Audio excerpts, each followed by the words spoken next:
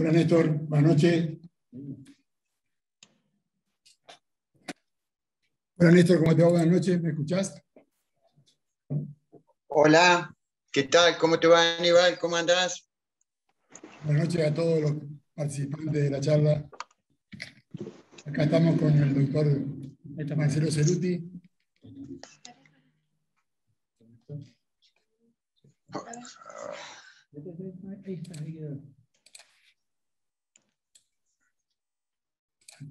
¿Estamos ahí? ¿Estamos Néstor o no? Hola. ¿Cómo te va? ¿Cómo estás? Estamos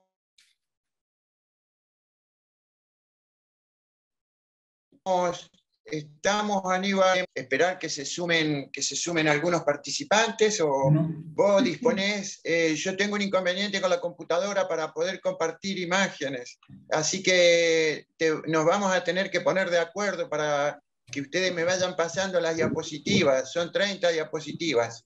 Bueno. Correcto, no hay drama. Vos nos vas avisando cuando van pasando la próxima y no hay drama. Desde acá lo manejamos.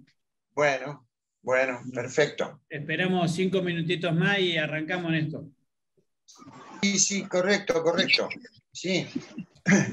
Vamos a tratar de, vamos a tratar de, generar un espacio a través de los chats para que vayan haciendo las preguntas a medida que se vayan disponiendo las diapositivas y no se olviden. Y después vamos haciendo un, alto y vamos contestando o las dejamos para el final.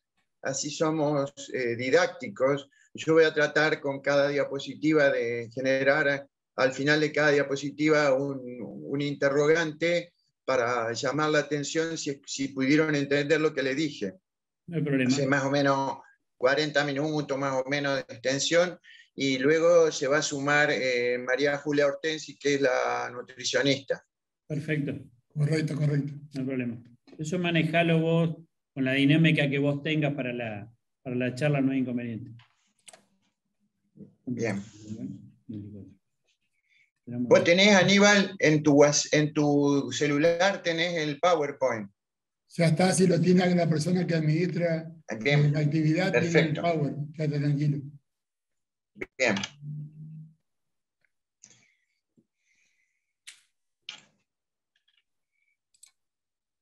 Para los que están presentes, buenas noches para todos. ¿eh? Ahí te veo, Vivi, ahí, que estás ahí. Buenas noches. José lo que está con el mate, pero está...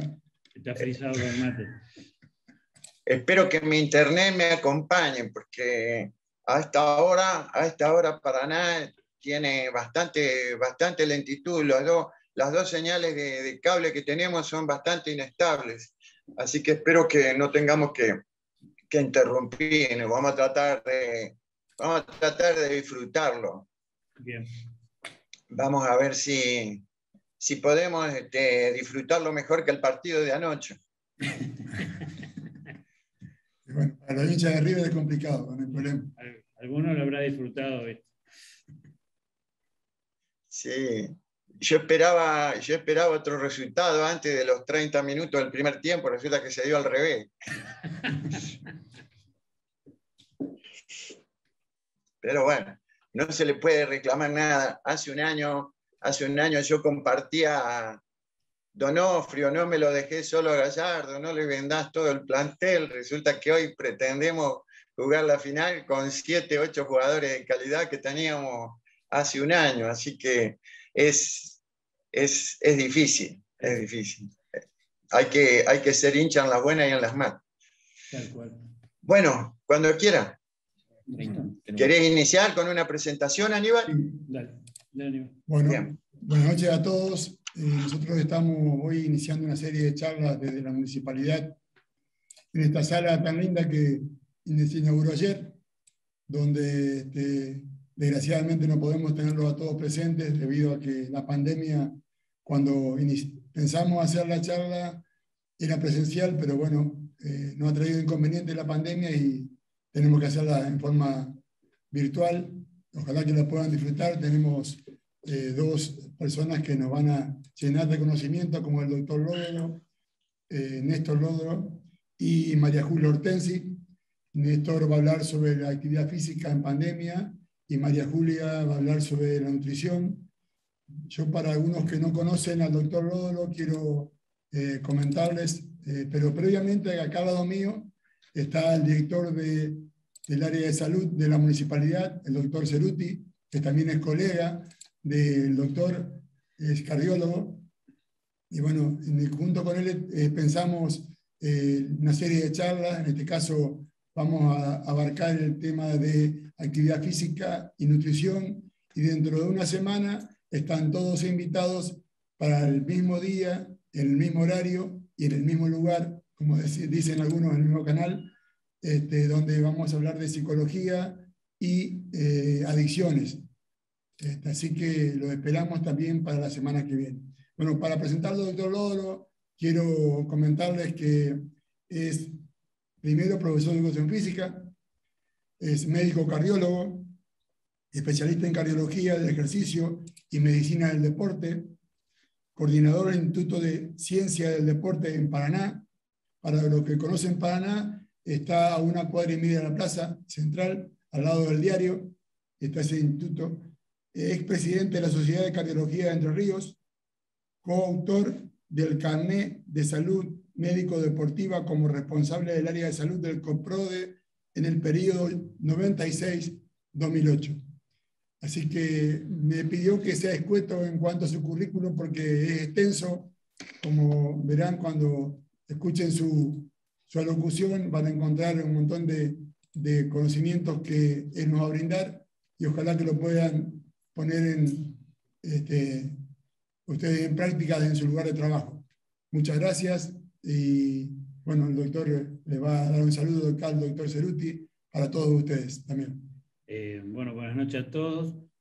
Como dijo el profesor Aníbal Lanz, de acá desde la Municipalidad de Crespo, con este salón justamente que hemos, que hemos inaugurado, tenemos la intención de, de, mantener este ciclo de charla y tenerlo al doctor Lódolo con la, con la experiencia que tiene, eh, ya sea con la los dos títulos que tienen, ¿no es cierto? Fundamentalmente profesor de educación física y médico cardiólogo, especialista en deporte. Eh, yo creo que después de toda esta, esta pandemia que hemos pasado este año y medio, estar encerrado y demás, que los profes de educación física tengan un poco de más de información, a ver cómo podemos encarar esta, esta nueva dinámica que, que tenemos ahora con, con que se empiecen a levantar las restricciones y empieza a haber actividad. Yo creo que de a poco vamos a tener que empezar a hablar de todo cómo podemos manejar todo lo que es la post-pandemia, que sin duda también va a ser bastante, bastante complejo. Así que bueno, eh, adelante otro lado nomás con su alocución. Bueno, muchísimas gracias. Eh, lamento no poder estar ahí junto a ustedes. Sé que es un auditorio hermoso. He estado viendo algunas fotografías que compartieron pero bueno, en situación de pandemia, yo creo que es conveniente el distanciamiento y tener respeto porque creo que coincidimos, creo que coincidimos que la pandemia no ha terminado. La, la pandemia y la convivencia con el SARS-CoV-2 y todas sus variantes son inevitables por mucho tiempo más, de manera que la extensión del distanciamiento es obligatoria. Te agradezco mucho, Aníbal, la presentación. te agradezco también, eh, querido colega Ceruti, el que hemos compartido muchas jornadas en la Sociedad de Cardiología Entre Ríos con esta presentación. Y bueno, eh, vamos a comenzar eh, de a poquito, vamos a tratar de disfrutar, vamos a explicar someramente lo que ha sido esta pandemia, cómo se inició y cuáles son eh, los, elementos importantes que tenemos que tener en cuenta en el deporte. Voy a hacer una introducción en lo que hace a la enfermedad, a la difusión, a lo que pasó de epidemia a pandemia, y luego vamos a abordar el tema deportivo a nivel escolar, a nivel gimnasios, a nivel clubes, a nivel alto rendimiento deportivo y sobre todo los estudios necesarios habiendo padecido COVID ya sea en personas sedentarias o en personas activas. Así que bueno, eh, le pido al, que me va a ayudar a compartir imágenes que iniciemos el, PowerPoint. Muchísimas gracias. Y la verdad que es una, un gran, una gran convocatoria, Aníbal. Eh, 38 participantes. Creo que ha sido muy linda la, difusión. Muchísimas gracias. Eh, quería también adelantarle a los participantes que vayan anotando en el chat, eh, en el chat vayan anotando directamente eh, las preguntas que se puedan hacer en relación a cada PowerPoint para poder después celebrarlas y correctamente responderla para que no tengamos interferencias y permanezcan los micrófonos apagados. Muchas gracias. Bueno, eh, actividad física y pandemia, año 2021, año 2020, COVID-19 y seguimos transitando esta enfermedad que se inició en China allá por noviembre, agosto del 2019, que constituyó para China una epidemia y que luego, eh, por la dinámica mundial, tanto oriental como occidental, y a través de los viajes, eh, se fue difundiendo de este a oeste y de norte a sur, así que nos ocupó y lamentablemente no hubo ningún continente exceptuado de esta enfermedad. Adelante. Ahora sí. Ahora sí lo ven. Sí, correcto, correcto, correcto, correcto. Bueno, eh, esto es, simplemente, es simplemente el, desarrollo, para que ustedes tengan una idea, eh, la iniciación de la pandemia, el desarrollo de la misma, los desconocimientos, el sedentarismo y las consecuencias, el sedentarismo obligatorio en personas activas, los cuidados que debemos seguir teniendo, la realidad de la actividad física en la escuela, el club, el gimnasio, el hogar, los exámenes médicos necesarios post-COVID-19, las certificaciones para la vuelta a la actividad física y luego eh, yo he hecho un preguntero extenso para satisfacer muchas de las preguntas que por ahí no se hacen eh, ya por chat o, por micrófono. Así que eh, la, la, diapositiva esta, la pandemia, la descripción de la enfermedad. Como ya había dicho, eh, el COVID-19 a través del SARS-CoV-2 eh, fue una enfermedad que se inició en un laboratorio en China, en una ciudad de Wuhan, y que constituyó para China una epidemia que nunca el mundo, la Organización Mundial de la Salud, podría haber descrito en ese momento como una de las pandemias más grandes del siglo. Los síntomas que componen esa enfermedad eh, están prevalentemente dados por la localización, por la localización inicial que tiene la enfermedad. Por eso es que de alguna manera la, la sintomatología más importante obliga a usar barbijo, no dejar de usar barbijo, porque la puerta de entrada es eh, nasal y oral, o sea, las papilas gustativas y, las terminaciones nerviosas del olfato a nivel de la nariz son los primeros elementos eh, con el cual el virus toma contacto y, e ingresa a nuestro organismo, constituyendo luego una serie de síntomas que van de menor a mayor, constituyendo una gran localización a nivel muscular, no solamente del músculo estriado, que es el músculo que nos permite el movimiento, sino también de los músculos, del músculo estriado diferenciado que tiene nuestro corazón llamado miocardio. También la localización se estabiliza siendo lo más peligroso su localización a nivel del sistema de coagulación, el factor 5, es un factor que está muy afectado por esta enfermedad, por eso es que la gravedad de la enfermedad que va de la fase 1 a la fase 3-4 lo constituye la profundidad de los síntomas, desde la pérdida del gusto, la pérdida del olfato, la temperatura, los dolores generalizados a nivel muscular, las cefaleas o dolores de cabeza y los trastornos de la coagulación. Existen elementos clínicos que el médico especialista telefónico que tenga el enfermo con el centro de salud o con el especialista a través del 0800 para definir en qué fase está. Es decir, la fase 1 es aquella enfermedad por la cual eh, el paciente permanece en su casa con buena saturación de oxígeno, con dolorimiento general, con una pérdida del olfato y el gusto, sin compromiso respiratorio. No hay, puede haber una falta de aire muy leve, pero la desaturación que se hace a través del oxímetro de pulso no varía. Esta es una, fase que se puede transcurrir en el hogar. La determinación de la dificultad respiratoria. Se te corta el, contacto con, internet. Este, Hola. Sí, ahí, ahí los admitimos de nuevo en la charla. Ajá, me dijo que si no arranque yo y que hasta que él se pueda conectar, como ustedes quieran igual. Eh, perdón, eh, María Julia, ¿vos tenés el Power vos? Ah, ¿lo manejás vos? Lo tengo acá. Bueno, si quieren yo lo bueno. Sí, ustedes me pueden poner para que yo comparta. Sí, sí, sí. Ah, ya está, ahí lo vi. Bueno, ¿quieren que vaya arrancando yo entonces? vamos a presentar, María Julia. Bueno, dale, dale. Bueno, para duda, para que quien no conoce, María Julia Hortensi está en la pantalla.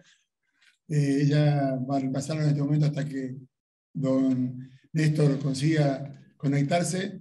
Ella es eh, licenciada en nutrición desde el año 2015, especialista en nutrición deportiva, antropometrista ISAC nivel 2, tiene posgrado de obesidad en la Universidad de Favaloro, integrante del programa de rehabilitación cardiovascular en el Instituto de Ciencias del Deporte de Paraná, nutricionista del Servicio de Nutrición del Hospital de la Baxada de Paraná.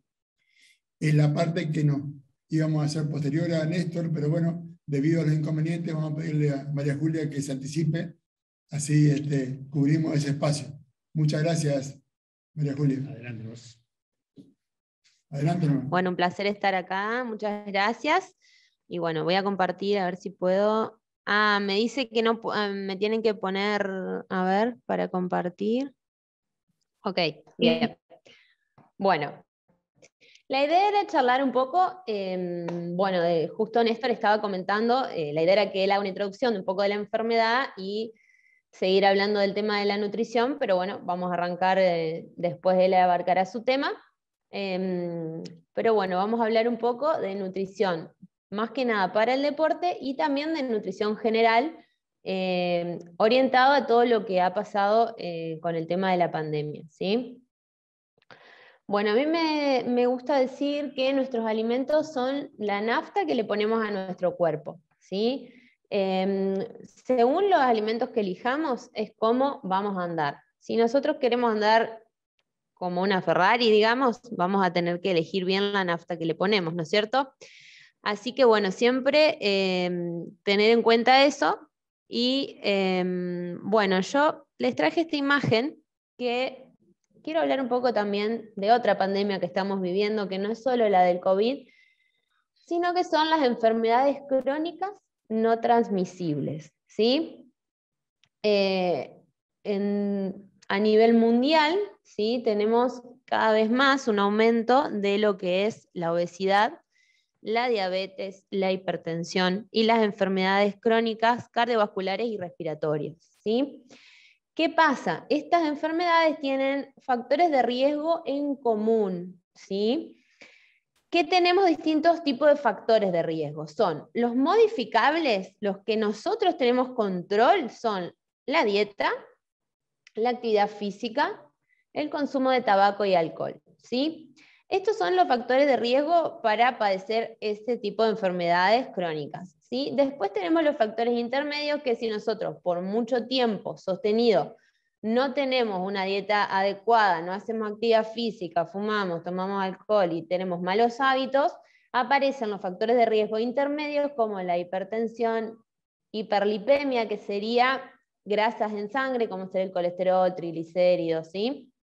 hiperglucemia, que sería el elevado azúcar en sangre, el sobrepeso y la obesidad. Y estos factores intermedios después, sostenidos a largo plazo, nos van a llevar a las enfermedades crónicas, que son las cardiovasculares, diabetes, algunos tipos de cáncer y enfermedades crónicas respiratorias. ¿Por qué traigo esto?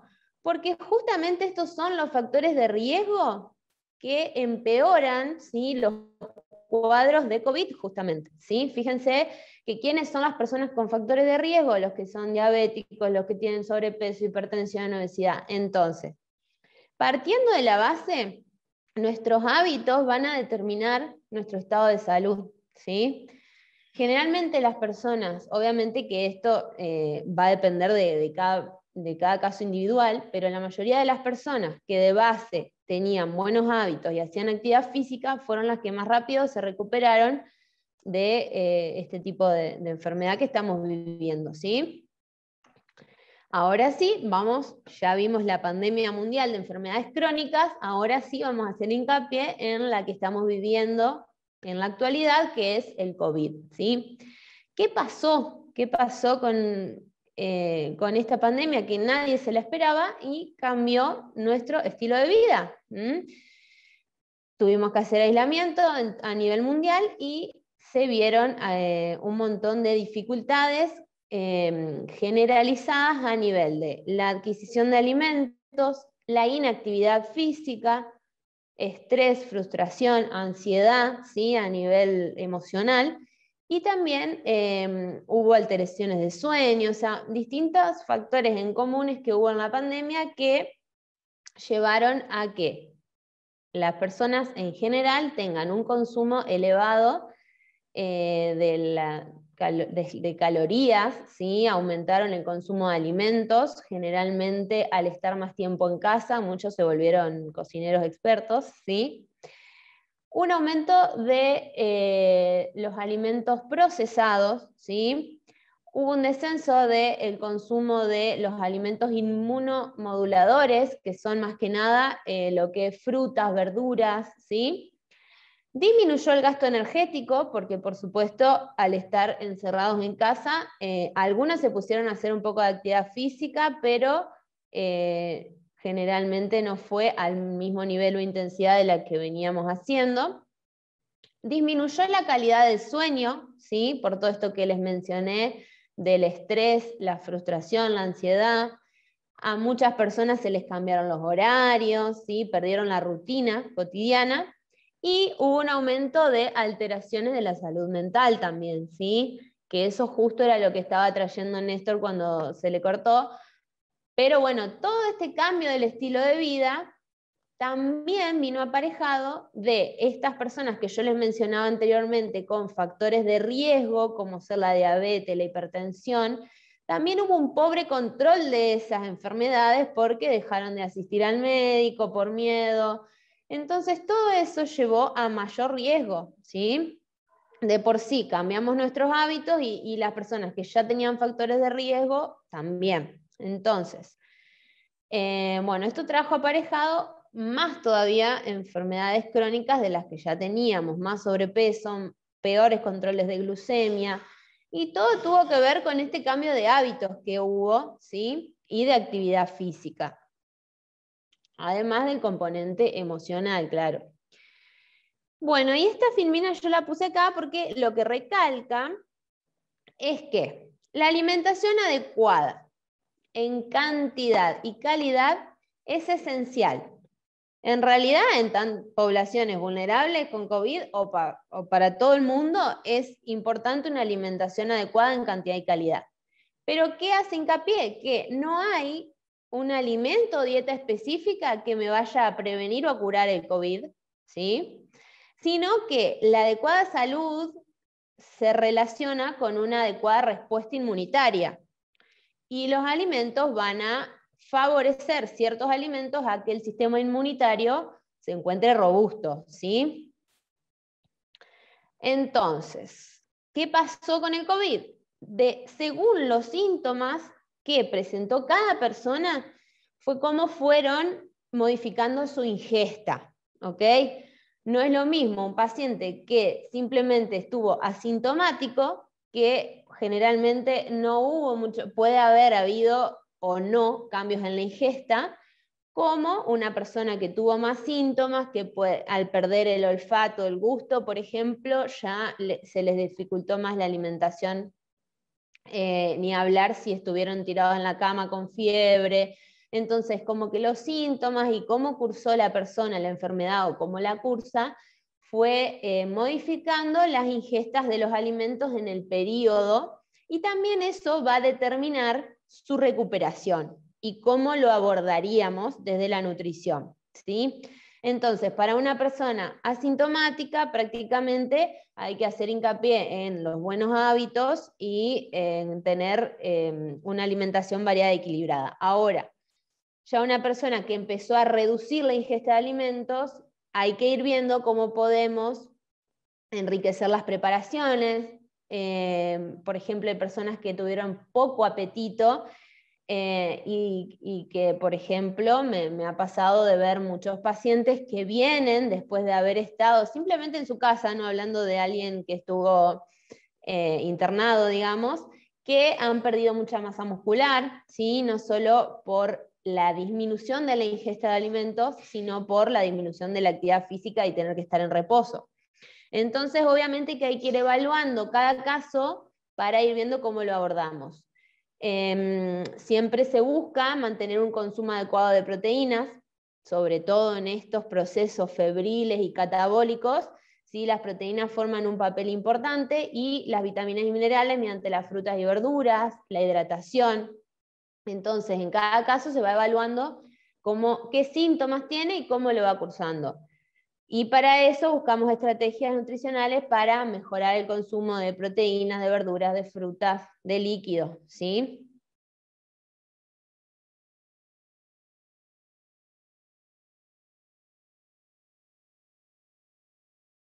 es la antropometría justamente, donde podemos conocer eh, la composición, es decir, cuántos kilos de huesos, cuántos kilos de músculo, cuántos kilos de grasa tiene, y ver si la persona ha perdido músculo, si lo mantuvo.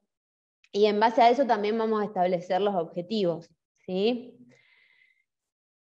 Para el tema del COVID, lo principal, en realidad, como dije hoy, no hay un alimento en particular que haya que consumir, sino que em, hay que tener una alimentación variada, equilibrada, que ahora ya les voy a mencionar cómo la logramos, pero los nutrientes Em, digamos, clave sería em, para el sistema inmunitario sobre todo, van a ser lo que es vitaminas y minerales, que son antioxidantes, ¿sí?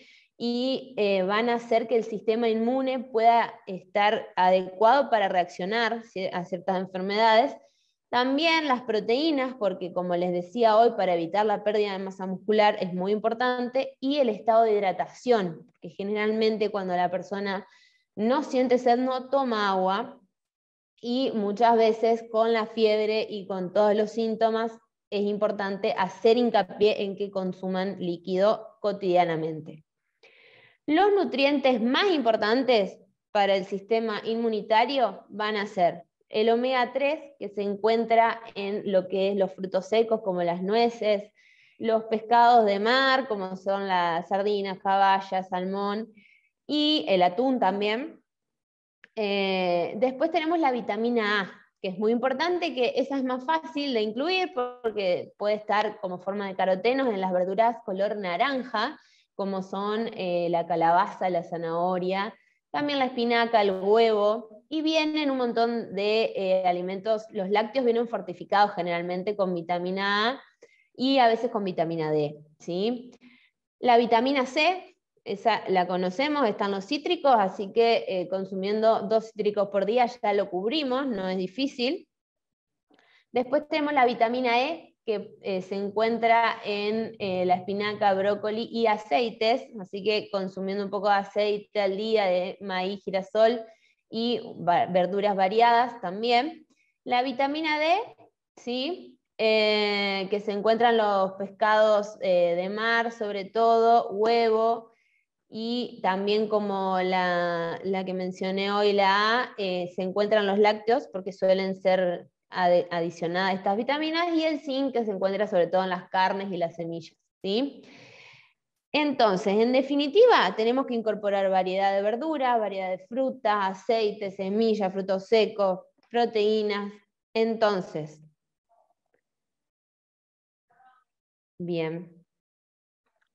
¿A qué voy? A que en general lo que buscamos siempre, sea con COVID o sin COVID, es generar hábitos ¿sí? y sostenerlos. Para eso les traje acá lo que nosotros llamamos las cuatro leyes de la alimentación, que eh, las creó el doctor Escudero que son las cuatro leyes básicas, ¿sí? Una es la ley de la cantidad, que hace referencia a que la cantidad de energía que hay que incorporar por día, que eso también va a ir dependiendo de si la persona es mujer o hombre, si hace una actividad física, su peso, su altura, el tipo de actividad que realiza em, laboral, ¿sí? La calidad hace referencia a la calidad de los alimentos que incorporamos, ¿sí? La armonía, a que entre los nutrientes haya una armonía entre proteínas, hidrato de carbono, grasa. Y para mí, la más importante es la adecuación. Como les hablaba hoy, respecto a los síntomas del paciente, va a variar si tuvo síntomas, si no tuvo síntomas, nos tenemos que adecuar a eso. Y lo mismo, eh, al armar un plan de alimentación, al hacer una recomendación, si yo no me adecuo a la persona, o sea, yo me tengo que adecuar a la persona, obviamente siempre haciendo hincapié en fomentar hábitos, mejorar, pero no la persona a lo que yo le quiera recomendar, sino que si yo no tengo en cuenta sus gustos, sus patologías, sus horarios, no lo va a poder llevar a cabo. Entonces siempre la alimentación tiene que ser adecuada a las posibilidades también socioeconómicas, ¿sí? Para eso les traje lo que nosotros usamos, este recurso se llama gráfica de la alimentación saludable. ¿sí? Y esto ya es para todos hablando de los hábitos, ¿sí? Para el COVID lo que teníamos en cuenta más que nada era estos, estos grupos de alimentos que yo les mencioné que nos ayudan a tener un sistema inmunitario robusto, pero básicamente siempre vamos a tener que tener una alimentación variada, equilibrada, incorporar todos los grupos de alimentos, ¿sí? Y cada grupo de alimentos a nosotros nos aporta distintos nutrientes, ¿sí? Esta gráfica hace referencia a la cantidad de porciones que deberíamos incluir por día de cada grupo. Fíjense que las verduras y las frutas ocupan casi la mitad del dibujo. ¿Por qué? Porque necesitamos varias porciones al día de verduras y de frutas. Fíjense que hoy yo les mencioné un montón de verduras y de, y de frutas que tenían vitaminas y minerales. Van a ser los que nos ayudan a tener un sistema inmunitario fuerte. Mientras más variedad yo incorpore, más colores, yo siempre la frase clave que les digo a todos, colores en el plato, colores en el plato. Mientras más colores pongamos, más variedad voy a estar incorporando de nutrientes. Si cada grupo, cada color tiene distintos nutrientes, entonces más variedad, más nutrientes incorporo. Después tenemos el grupo de los cereales y legumbres, que incluye todo lo que es arroz, fideos, lentejas, porotos, garbanzos, panes, tostadas, cereal, granola, avena, papa. Este grupo nos aporta más que nada hidratos de carbono, que la función es principalmente energética, ¿sí? nos aportan energía. ¿Qué pasa acá? Tenemos que saber elegir la calidad de este grupo. ¿sí? No es lo mismo querer incorporar un hidrato de carbono en un desayuno para tener energía mediante una factura, un bizcocho, que mediante una granola, un pan integral. ¿sí? Siempre lo que es integral es mejor porque tiene más fibra, más nutrientes. Y acá en lo que yo hago hincapié siempre es en preparar en casa. Mientras más aprendamos a cocinar, mejor calidad.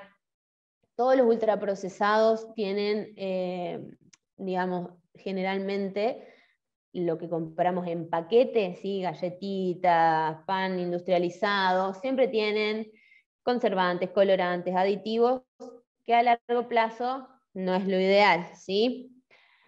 Como siempre, buscar un equilibrio, ¿no? Después, las proteínas se encuentran en lo que es lácteos, carnes y huevos. Entonces, todos los días vamos a tener que hacer una ingesta pareja de proteínas también, a lo largo del día, ¿sí? Ahora ya lo vamos a ir viendo. Y después tenemos los aceites, frutos secos y semillas que nos aportan grasas saludables. Y aparece muy chiquito y en rojo opcional lo que es dulces, grasas, golosinas, que eso tratamos de evitarlo. En el medio fíjense que está el agua, porque es nuestra bebida principal, ¿sí? Obviamente tratamos de evitar el consumo de gaseosas, de jugos y priorizar el consumo de agua como tal. Entonces acá yo les traje esta imagen que a mí me gusta, que es el plato, es un plato ideal, entre comillas, eh, que fíjense que hace mención a esto que yo les decía hoy de las funciones, ¿sí? Protección, dice, cuidan tus defensas, como mencionábamos hoy, frutas y verduras, ¿sí? Mínimo Tres colores diarios, fíjense que era lo que yo le estaba diciendo, variedad de colores, ¿ok? Reparación de tejidos, proteínas, ¿ok? Las proteínas repara el tejido, forma músculos. ¿Dónde estaban? Carnes, eh, pollo, pescado, huevos y los lácteos, ¿sí? Energía, ¿quiénes eran? Los hidratos, energía para el músculo, energía para el cerebro, energía para todas las funciones vitales, ¿sí? Hidratos eran arroz, fideo, legumbres, pan, frutas, avena. Bien, entonces, acá les traje distintos platos, ¿sí? Porque como dije hoy, la adecuación es la clave. Yo justamente les traje eh, platos más bien orientados a la nutrición deportiva, pero fíjense que según las actividades, según el tipo de entrenamiento, según lo que la persona haga, va a variar su requerimiento, ¿sí? Entonces, siempre van a estar todos los grupos de alimentos en el plato, siempre va a haber verduras, siempre va a haber algo de hidratos, siempre va a haber algo de proteína, pero va a variar ¿sí? la proporción que vamos a usar, o no es lo mismo un día que una persona, ya hablando de deporte, se va a hacer un fondo de 20 kilómetros eh, corriendo a un día que tiene descanso y hace un regenerativo de media hora. ¿sí? Y lo mismo pasó acá en el COVID bajamos nuestro nivel de energía, de gasto calórico, digamos, eh, nos quedamos quietos en casa, pero seguimos comiendo lo mismo o más que antes, ¿sí? Entonces, siempre la ingesta tiene que estar adecuada a lo que yo eh, hago, ¿sí? Bien. Bien, bueno, y después les traje esto porque se vio mucho el tema del comer emocional, ¿sí? ¿Qué sería esto? Generalmente toda esta situación nos trajo eh, ansiedad, nervios, estrés, ¿sí? Y muchas personas no tienen las herramientas para gestionarlo. Seguramente si después la psicóloga en la próxima charla lo, lo hablará, digamos. Pero muchas veces la comida se vuelve una adicción, ¿sí? ¿Por qué? Porque es lo que tenemos más a mano, nos genera sensación de placer, de bienestar, y es algo que lo tenemos en casa cotidianamente. Entonces, em, muchas veces también se vio aumentada la ingesta de alimentos y de alimentos justamente no tan nutritivos, sino más bien calóricos, altos en grasas, altos en sal en azúcar. ¿Por qué? Porque nos genera placer, bienestar y una descarga muchas veces, ¿sí? Entonces, también aprender a reconocer cuando tengo hambre y cuando es otra cosa, me parece importante y una buena herramienta, sobre todo en este tipo de situaciones de estrés, ¿sí? Nosotros llamamos dos tipos de hambre, la física y la emocional. El hambre física es el hambre de verdad que tengo hambre. Me como un brócoli, como está ahí el dibujito, y se me pasa, ¿sí?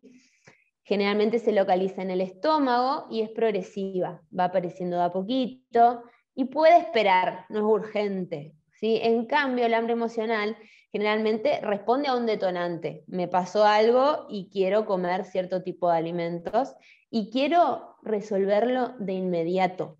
¿sí?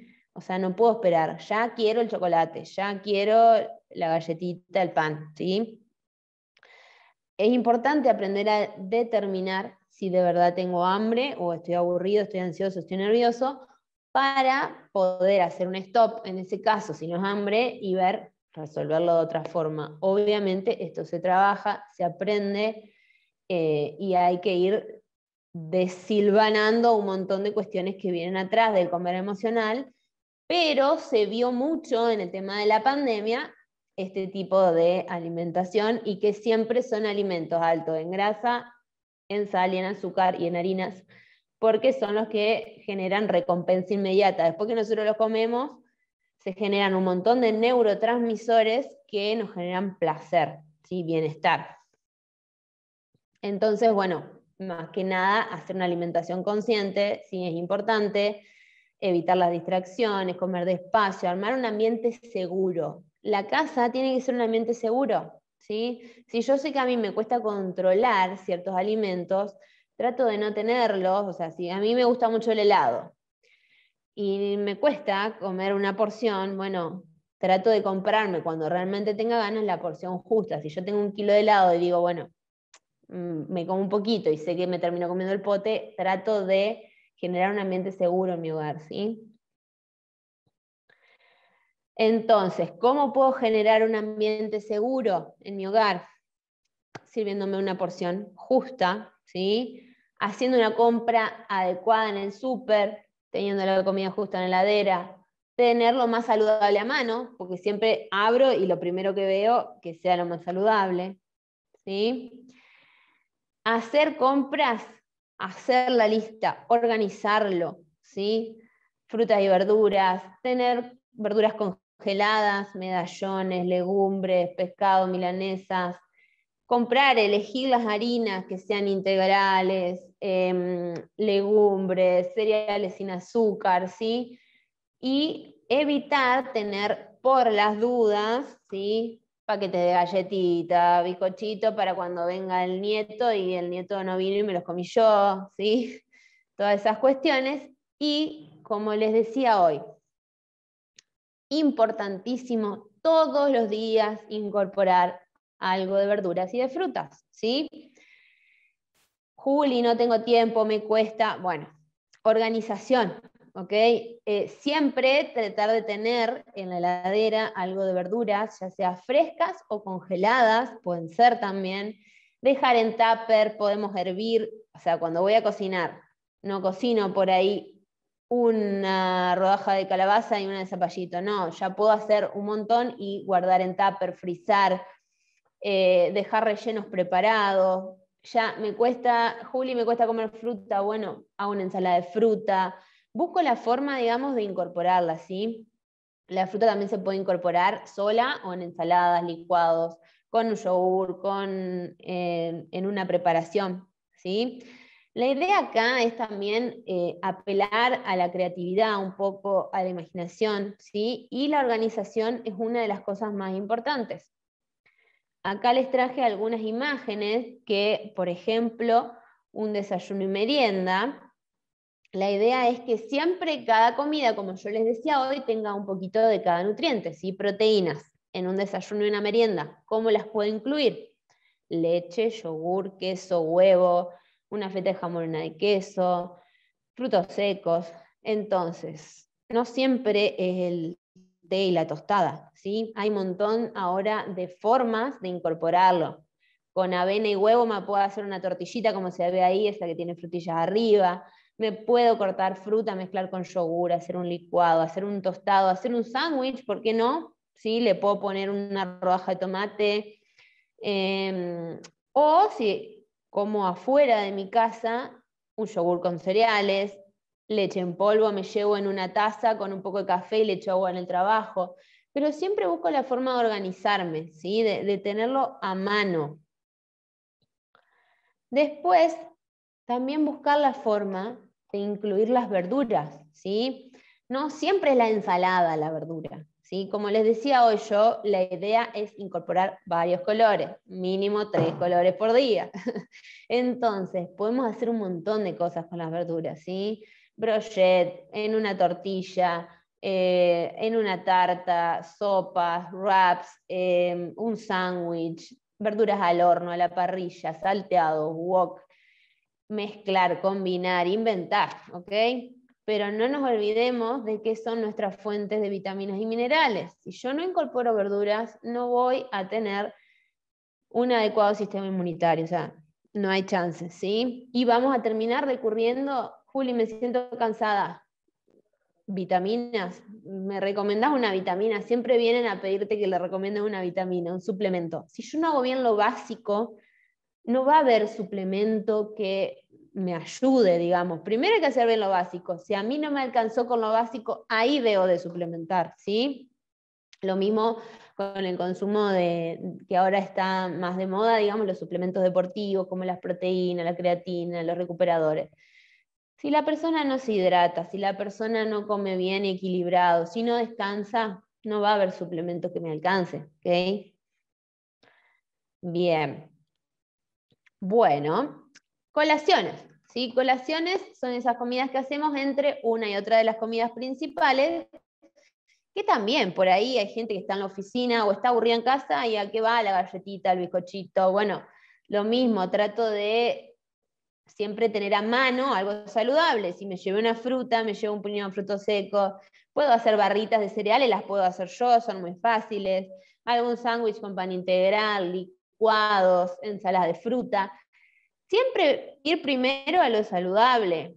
No quiere decir que una vez o dos veces a la semana yo no me pueda comer una factura, un bizcocho, pero si yo quiero ser sano día a día, lo que haga todos los días repetidamente van a ser mis hábitos y van a ser los que determinen mi salud, como él les mencionaba, el tema de las enfermedades crónicas se generan por los hábitos, ¿sí?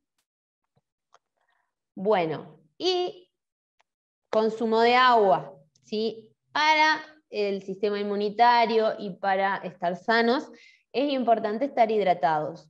Y no solo es tomar agua cuando tengo sed o tomar agua con las comidas, ¿sí? La idea es tener una ingesta cotidiana de, líquido, y más si son deportistas, que eh, obviamente aumenta el requerimiento de líquido porque con la actividad física, al generarse la transpiración para eliminar el calor interno del organismo, transpiramos más, tenemos un requerimiento más alto de líquido. Entonces la ingesta de agua tiene que ser cotidiana, ¿sí? Acá botellita siempre a la vista, eh, donde vayan, recomendar que la lleven, digamos, ¿sí? una botella con agua. Si estoy comiendo, si me cuesta tomar agua, puedo hacer aguas saborizadas, naturales, ¿sí? evitar el consumo de jugos y gaseosas. Puedo hacer una agua saborizada, por ejemplo, con un litro de agua, exprimir el jugo de un limón, una naranja, un pomelo, agregarle rodajitas de cítrico, un chorrito de stevia, edulcorante, y me hago una agua saborizada casera. Pero que la base sea el agua, ¿sí? Bien.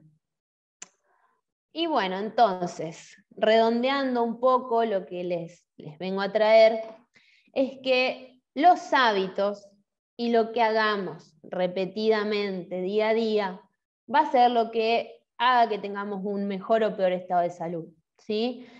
Entonces, eh, lo que quiero que se lleven, más que nada, es em, que todo esto de la pandemia y de las enfermedades crónicas, que son las que pueden empeorar los cuadros de COVID y de cómo se recupere mejor o no una persona, van a depender de los hábitos, no solo de lo que haga en ese momento, ¿sí? durante el COVID, sino que los hábitos van a ser los que hagan que nosotros tengamos un sistema inmunitario fuerte, que tengamos una masa muscular adecuada, tenemos que ser personas activas, y eso va a determinar nuestro estado de salud en general. Siempre lo que tratamos de promover, y creo que Néstor también, es un estilo de vida, ¿sí?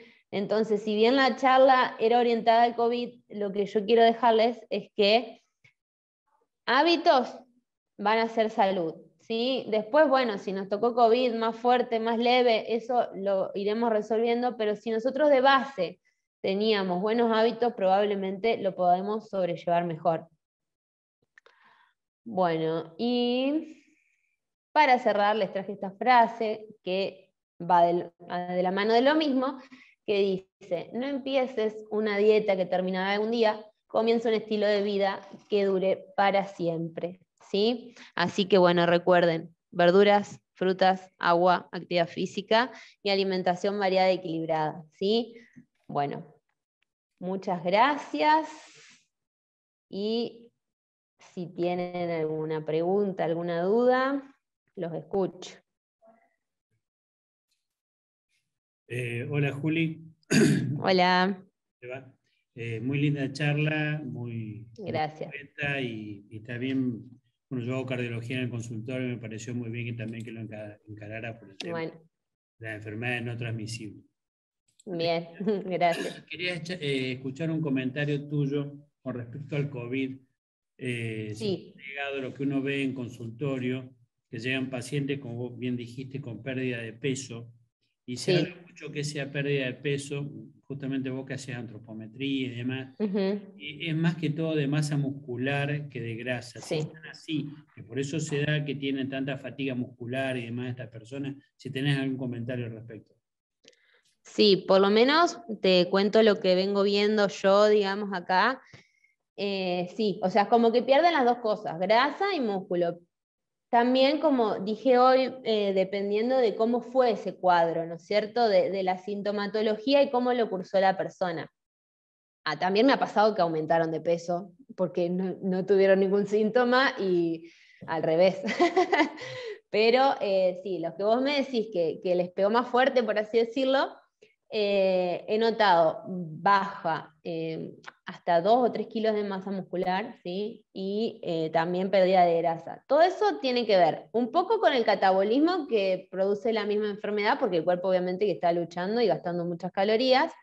Y respecto a la ingesta, los síntomas, ¿sí? la, fatiga, al no tener gusto y olfato, no les da tantas ganas de comer, Em, entonces, bueno, ahí es eh, hacer hincapié en las estrategias nutricionales para enriquecer los alimentos. Si la persona no tiene hambre, eh, generalmente lo que nosotros buscamos en un volumen de chiquito, incorporar muchos nutrientes. Por ejemplo, en un puré de calabaza, ponele, procesarle pollo, huevo, agregarle una cucharada de aceite, entonces, en un volumen chiquito yo estoy incorporando muchos nutrientes, porque por ahí si vos le recomendás un platazo de comida no lo va a comer. Por ahí se pueden incorporar suplementos, como ser, bueno, lo más común es el ensure, digamos, pero en un deportista si ya tiene, no sé, una proteína, se puede que, siga consumiendo la proteína, digamos, por más que no esté entrenando, porque em, hay un desgaste importante, digamos, a nivel catabólico cuando hay fiebre, eh, generalmente se pierde masa muscular también, y obviamente la inactividad física aumenta esa pérdida de masa muscular muchas veces.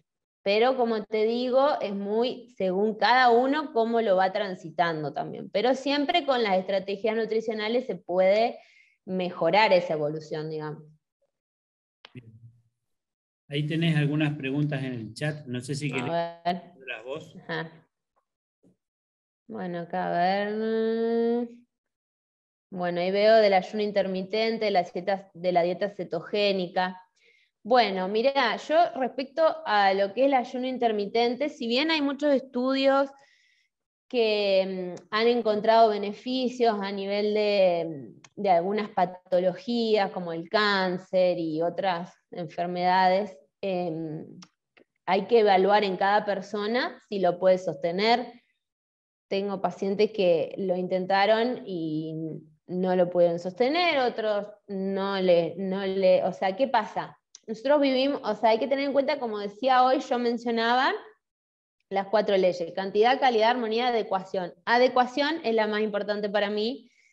Y vivimos en una sociedad, somos seres humanos, sociales, entonces el ayuno por ahí me parece que no va de la mano a un montón de cuestiones em, en general, digamos, ¿no? que depende de la cantidad de horas de ayuno, hay ayunos de 12, 24, 48, 72 horas, entonces eso es medio evaluar, depende de cada persona, que le, le va bien, yo no soy muy partidaria del ayuno, sino de los hábitos, como hablaba hoy, y lo mismo con la dieta cetogénica, ¿sí? Em, que van de la mano generalmente. La dieta cetogénica elimina un grupo de alimentos que son el grupo de los hidratos de carbono, que tienen vitaminas, minerales, fibra. Yo no soy partidaria, sino sí de elegirlos bien, como dije hoy, elegir bien dentro de ese grupo legumbre. ¿Por qué vamos a sacar una legumbre de la alimentación si tiene hierro, tiene fibra, tiene vitaminas? No, o sea, yo no soy partidaria, sí, de hacer una alimentación variada y equilibrada y de lo que decía hoy, eh, fomento el tema de los hábitos, más que una dieta, justamente. Justo con la frase que terminé hoy, creo que responde un poco a eso. Em, ¿Qué es zinc? Bueno, el zinc eh, es un oligoelemento, digamos, que un mineral que se encuentra en ciertos alimentos y está involucrado en un montón de reacciones químicas dentro del metabolismo. Y eh, para el sistema inmunitario es muy importante una ingesta adecuada de zinc. ¿sí? Y bueno, creo que esas eran las preguntas. No sé si alguien tiene alguna otra pregunta. Si no, le damos la posta a Néstor, que ya está ahí. Bueno. Muchas gracias, María Julia. Muchas gracias, María Julia. gracias a ustedes.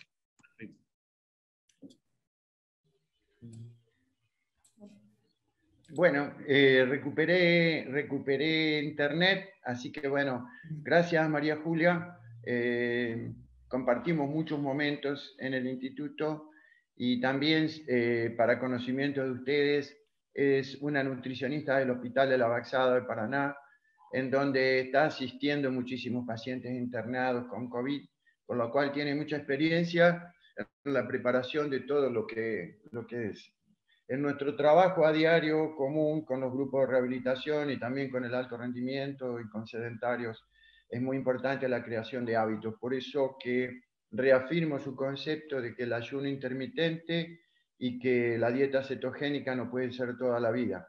Simplemente eh, los hábitos eh, y la calidad de vida pasa por eh, la búsqueda de la mejor alimentación para buscar esa alostasis, sobre todo por ahora en la pandemia, en la cual tenemos que poner equilibrio porque hace más de un año y medio que estamos viviendo de una manera atípica y en donde el estrés está a diario, no solamente con las cosas habituales, sino con la tolerancia de esta situación de sedentarismo obligatorio paulatinamente saliendo de él.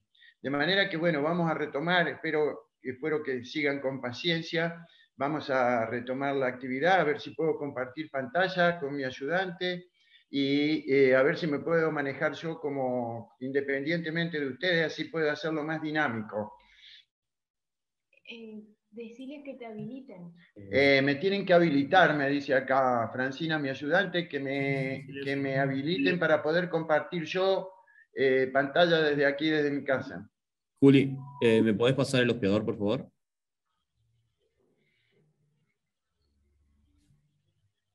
A ver cómo, cómo te lo paso. Clic derecho, eh, hacer hospedador.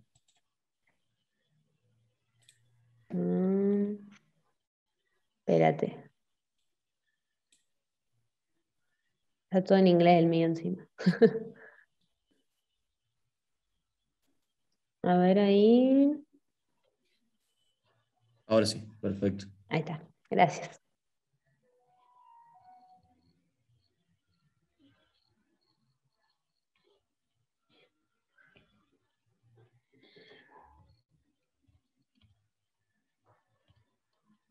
Bueno, vamos a, vamos a comenzar. Esto no es ni más ni menos que una maniobra para todos conocida. Esta es la maniobra de diagnóstico de la presencia de COVID-19 en la zona donde yo indiqué que es la zona álgida en la parte orofaringia, nariz, olfato, gusto en la boca. Eh, la descripción de la enfermedad ya la habíamos visto, los síntomas que la componen casi es de, interés común y sabemos mucho de esto, y la fase de la enfermedad. La pandemia eh, produjo eh, desde el primer momento, desde marzo eh, del año 2020, tuvo un gran impacto. El gran impacto en primer orden fue un impacto emocional y un impacto orgánico. El impacto emocional eh, de estar de la puerta para adentro, particularmente tuvimos dos meses, desde el 20 de marzo al 20 de mayo, sin poder desarrollar tareas habituales, por supuesto, tampoco podíamos ir al club, tampoco podíamos entrenar al aire libre, sufrimos un, un colapso en cuanto a las actividades físicas, por eso es que por ahí definir sedentarismo es eh, de alguna manera aquella persona que no realiza tres horas de actividad física por semana.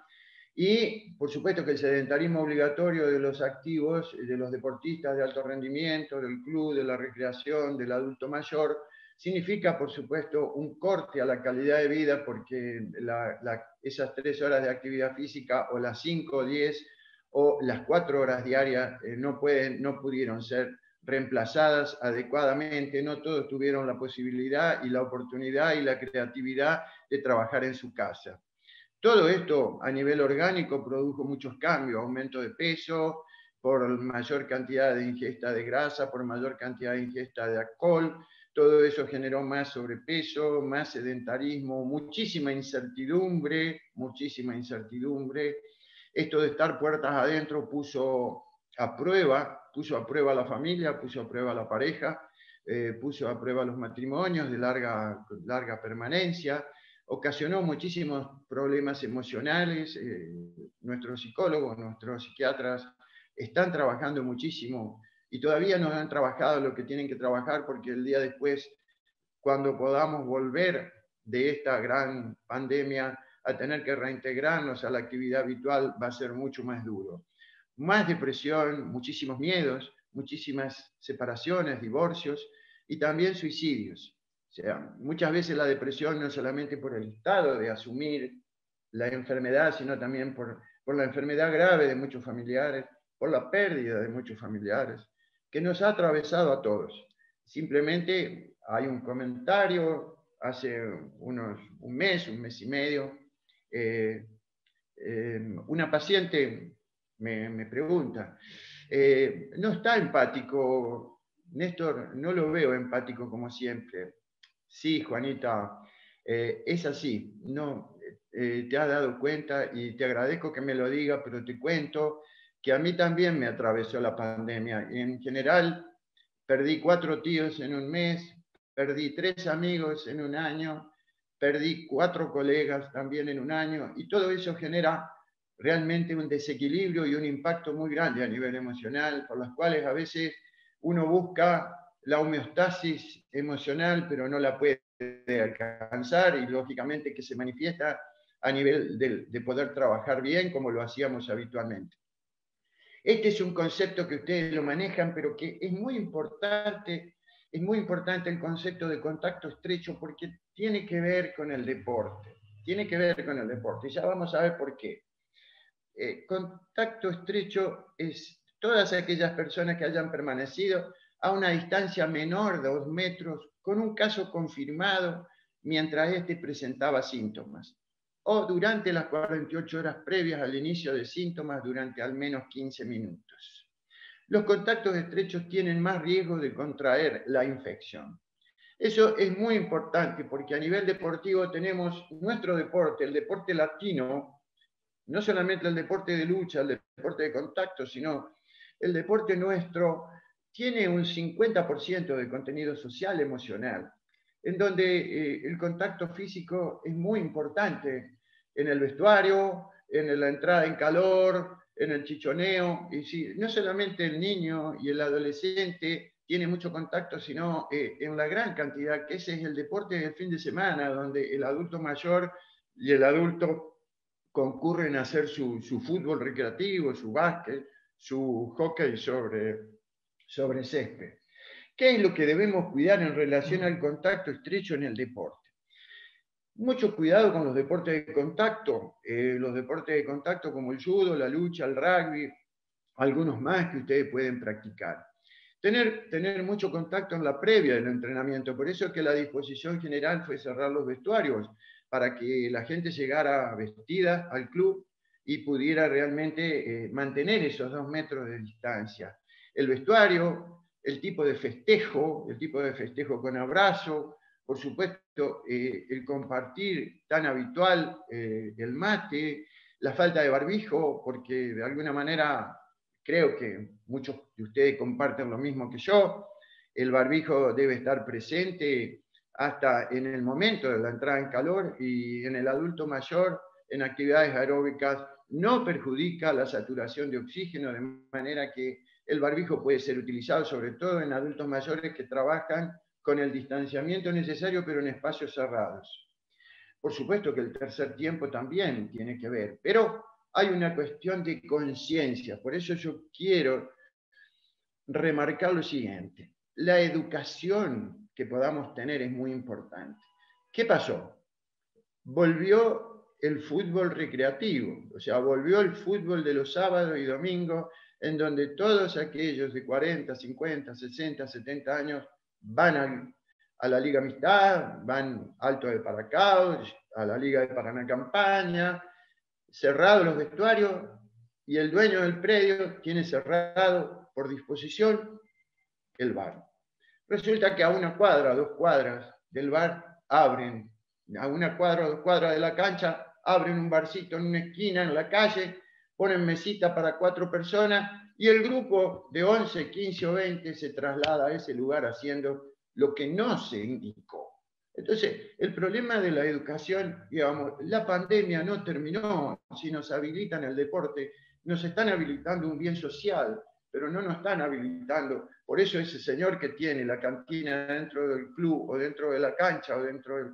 Tiene realmente prohibido hacerlo porque sabemos que se comparte sin barbijo y en forma no adecuada los, los medios de hidratación que habitualmente usan y, y que resulta muchísimo más peligroso.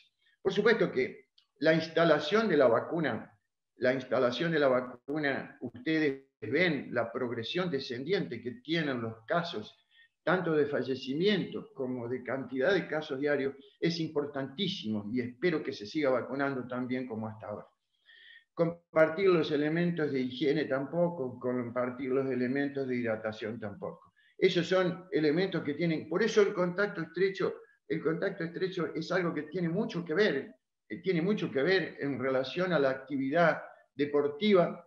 No somos japoneses, no somos del norte, no somos orientales, no somos del Tíbet, somos latinos, somos argentinos y nos cuesta mucho de por sí aceptar la pandemia y menos aceptar reglamentos que no sean anteriores en el tiempo del deporte. Vamos a otra, a otra, a otra que tiene que ver los beneficios de la actividad física y el impacto de la inactividad por la pandemia. O sea, acá tenemos la situación neurológica, cardiovascular, hormonal, oncológica y musculoesquelética. Por decir, la actividad física forma parte de la homeostasis. O sea, la actividad física es saludable, es necesaria para mantener el equilibrio, para mantener la salud. Hemos tenido desde hace un año y medio, o sea, desde el 20 de marzo del 2020 hasta ahora, todas las situaciones para estar inactivos. Siempre hubo un 60% de sedentarismo que padeció muchas de estas cosas que yo voy a enumerar ahora. Pero en este último año y medio hemos pasado, salvando a aquellos que hayan tenido, que no pasa del 10%, una intensa actividad en su casa, como hicieron en algún momento, mostraron, ustedes veían los videos de los Pumas, cómo trabajaban, cómo habían elaborado su mini gimnasio en cada uno de sus lugares. Lo neurológico, el impacto de la inactividad por pandemia, vamos a leer al revés todo lo neurológico. El impacto de la inactividad por pandemia aumenta la ansiedad, aumenta la demencia, disminuye la función cognitiva generando nubes, y aumenta el riesgo de accidente cerebrovascular. Vamos a leer lo cardiovascular. El sedentarismo aumenta todos los factores de riesgo no transmisible. Hay más hipertensión, hay más diabetes, hay más colesterol, hay más sobrepeso, hay más estrés, de manera que aumenta la mortalidad, aumenta la enfermedad coronaria, aumenta la presión, la, la presión sanguínea y lógicamente que todo esto lleva de por sí a tener que estar activos de una manera u otra. Esto es una foto que yo tomé, pero de alguna manera los astronautas, decía esa noticia, estaban en el espacio, tienen la obligación de hacer ejercicio físico para evitar problemas de salud. Es decir, es innegable la necesidad. Acá hablamos del impacto del sedentarismo.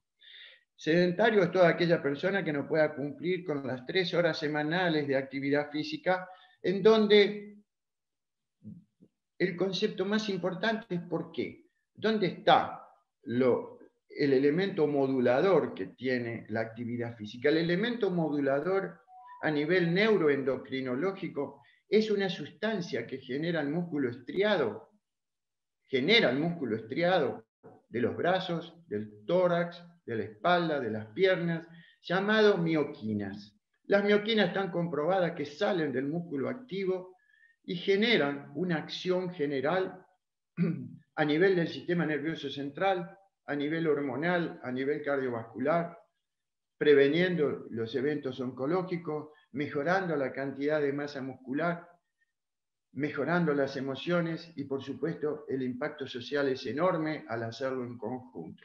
De manera que el impacto del sedentarismo es tremendo y eso es lo que más hemos tenido durante la pandemia.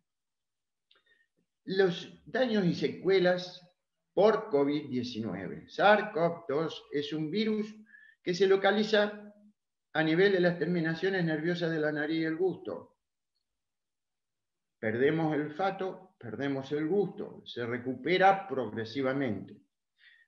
Puede pasar al aparato respiratorio y puede producir falta de aire, puede producir desaturación de oxígeno, puede producir neumonía. Esto es un cuadro mixto, lo respiratorio y lo hematopoyético, porque también el virus modifica la acción del factor 5 de la coagulación, aumentando la cantidad de microcoágulos que son responsables a nivel respiratorio de la gran falta de aire y de la necesidad muchas veces de asistencia respiratoria mecánica. También toca la parte muscular, afecta en un 90% de los casos el dolorimiento general, el dolor de espalda, el dolor de todos los músculos a nivel del músculo estriado. O sea, el músculo estriado es el músculo que nos permiten los movimientos, los deltoides, los abdominales, los espinales, los cuádriceps, los isquios, los gemelos. Y también pasa por el músculo cardíaco, aunque en una muy pequeña, un muy pequeño porcentaje. Ha habido deportistas de alto rendimiento, los casos más conocidos del fútbol, Lucas Barrios, eh, Cardona, eh, Poncio, que han tenido que demorar su vuelta a la cancha precisamente por, ya voy a pasar un slide más adelante, de cómo se afecta el músculo cardíaco. Y por supuesto el sistema nervioso central, a través de esa gran cefalea que da, muchas veces produce alteraciones no solamente neurológicas, sino esencialmente emocionales y, que y son las más importantes a la hora de hablar de la rehabilitación de la rehabilitación del COVID. Si yo vuelvo a señalar músculo estriado, tengo que decir una cosa. La experiencia en nuestro instituto de control, control, el post-COVID, en el cual en este momento nosotros somos tres cardiólogos que hacemos consultas. Nuestro 70% de las consultas que han generado por el control del COVID vienen al cardiólogo por indicación médica para realizar un electrocardiograma, una ergometría y un ecocardiograma. La pérdida de la fuerza y de la pérdida de la cantidad de masa muscular que recién hablaba María Julia es importantísimo a la hora de evaluar una ergometría. La ergometría es la prueba más fehaciente de que la mayoría de los activos y sedentarios que han padecido COVID no pueden repetir los METs, que son el consumo de oxígeno que ha tenido este joven, este paciente, este adulto, antes de la pandemia y ahora a dos meses, por ejemplo, de haber padecido COVID. Por eso el regreso a la actividad física tiene que ser progresivo para evitar lesiones, contracturas, desgarros y otras lesiones a nivel muscular. O sea, la ergometría es clave para certificar que el virus actúa a nivel del músculo estriado y en un muy bajo porcentaje, gracias a Dios, en el músculo estriado diferenciado del corazón. Daños y secuelas, pérdida de olfato y gusto, falta de aire, alteración de la coagulación, miocarditis, que es el paso del virus por el músculo cardíaco, pérdida de la fuerza y masa muscular, a nivel del sistema nervioso central, desequilibrios, alteración de la memoria, deterioro de las emociones. Todo esto va a tener que ver con la fase. Fase 1, fase 2, fase 3. A medida que se aumenta la fase, mayor va a tener que ser el proceso de rehabilitación. Y no hay ninguna explicación por la cual todavía no sabemos. Hemos perdido en Paraná dos grandes entrenadores de 50 años que han fallecido por el COVID. Hemos tenido pacientes de 90 años que no estaban vacunados y que se han recuperado satisfactoriamente del COVID. O sea, no sabemos nada todavía de cuáles son los verdaderos mecanismos de acción por los cuales unos pueden fallecer, unos pueden estar graves y otros pueden recuperarse aún no habiendo recibido la vacuna. Lo que sí puedo decir en cada slide que la vacuna es necesaria. que cualquier vacuna es mejor que no tenerla y, no padecer la enfermedad. Particularmente, particularmente, me tocó padecer COVID después de tener las dos dosis de Sputnik. Les puedo asegurar que el padecimiento del COVID que tuve fue menor a cualquier gripe que yo pueda haber tenido en el año 17, 18 y 19. Lo digo como una certificación de que creo que la vacuna, tanto a mi señora como a mí, nos defendió. Y lo digo porque esto tiene que ser una clase en la cual el concepto académico de educación tiene que llegar a cada uno de ustedes para defender el proceso de inmunidad que nos permite la vacuna, cualquiera sea, y cualquiera sea la combinación después del Sputnik. Escala de riesgo de las actividades físicas.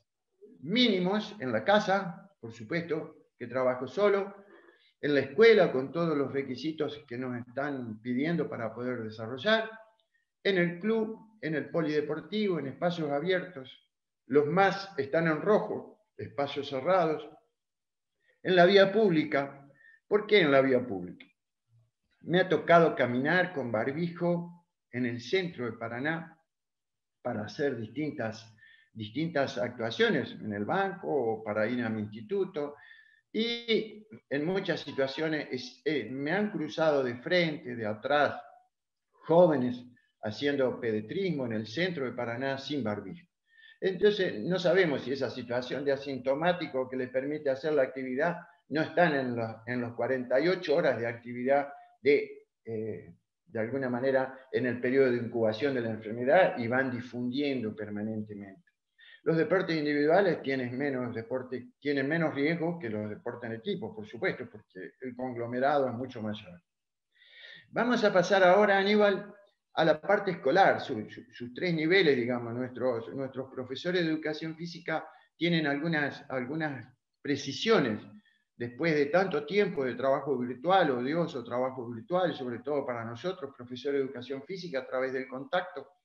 Los deberes del docente de educación física es, eh, creo que toda escuela es según disposición del Consejo General de Educación, por la cual también se tomó un instructivo que se giró a toda la provincia en relación a, los cuidados. Conocer el coordinador del área COVID de la escuela, recibir del niño el certificado de alta si un alumno padeció COVID y se encuentra en la escuela presente. ¿sí? Es muy importante, es muy importante ese tema por la actividad física que se puede hacer. Conocer protocolos y especificaciones de desinfección de los elementos que usamos y del manejo de la circulación para comienzo y finalización de las clases. Según la Sociedad Argentina de Pediatría y COVID-19, eh, se puede extender una constancia de presencialidad escolar describiendo el riesgo del niño que se reintegra después de COVID bajo moderado riesgo. El niño de alto riesgo deberá continuar con otras alternativas de educación física, caso un niño asmático que haya padecido COVID o un niño oncológico que haya padecido COVID. Esos son casos muy particulares en los cuales los docentes tenemos que hacer de agentes de salud. No solamente debemos atender y ayudar a atender el comedor que tiene la escuela, sino también extender nuestra tarea a la parte sanitaria. La Sociedad Argentina de Pediatría emitió un comunicado en relación a los clubes. El club debe garantizar un retorno a la actividad deportiva con la menor posibilidad de riesgo de contagio de rebrote o lesiones. Vestuarios cerrados, cantinas cerradas en el horario de entrenamiento y preconizar el tema de la vacunación, en la cual todavía en los menores de 30 años no, ha sido, no está cumplida en un 20%. La Sociedad Argentina de Pediatría también resalta los beneficios de la actividad física en edad infantil juvenil para mejorar la homeostasis por la pandemia. La Sociedad Argentina de Pediatría confirma los perjuicios sobre la salud del niño y el adolescente por el aislamiento social preventivo obligatorio. Es que es, un documento eh, emitido y conocido por los pediatras de Crespo, a los cuales ustedes pueden concurrir.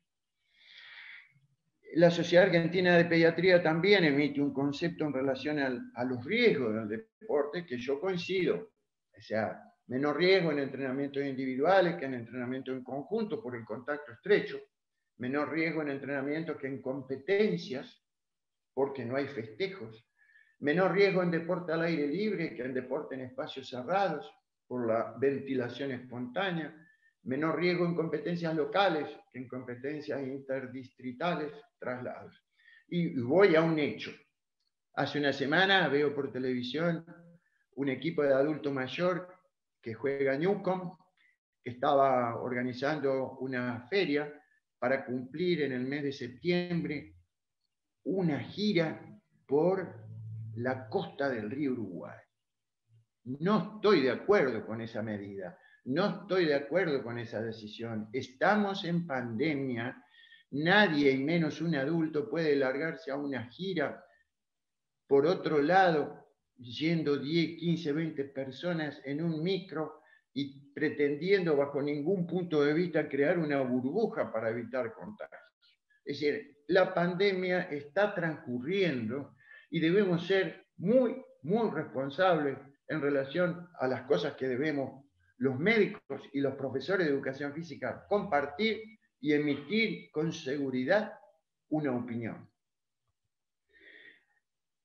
La Sociedad Argentina de Pediatría recomienda evaluar.